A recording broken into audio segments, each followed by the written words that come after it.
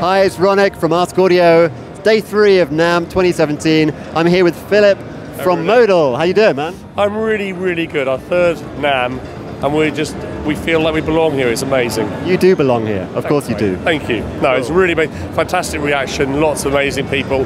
The really strange thing is we're in Los Angeles, but we have seen people from Indonesia, from Japan, from Canada. Really excellent. Even Canadians are here.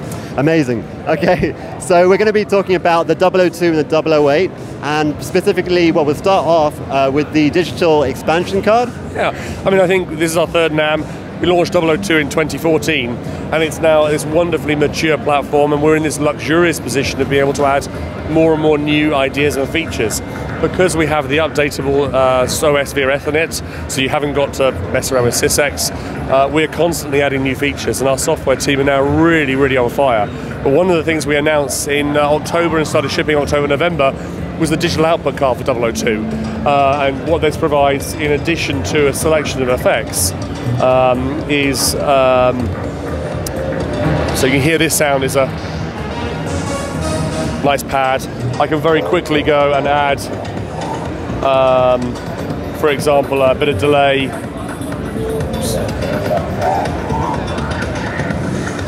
The chorus.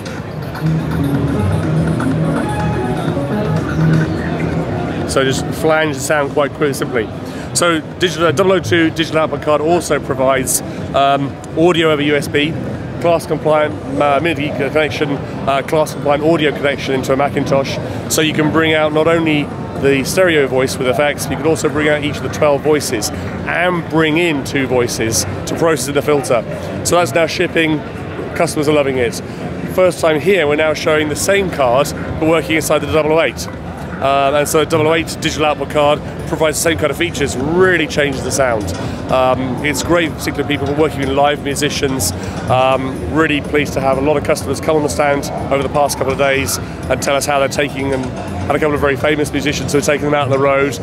Really excited. First of all, first of all, I'm impressed you, you're not name checking the musicians, but you know, I know, I know what you're like, so that, that's cool. Um, so how much will a digital output card set you back? Uh, 500 quid, the best way of putting it. Um, it's important to note that it's not just an effects card, it's providing multi-channel digital audio uh, at 24 bits, 192 kilohertz. So this is in excess of most of the audio interfaces out there. So you can take a 002 or 008 with digital output card, your laptop, and sit and compose in multi-track. Really, really cool solution. Okay, brilliant, man.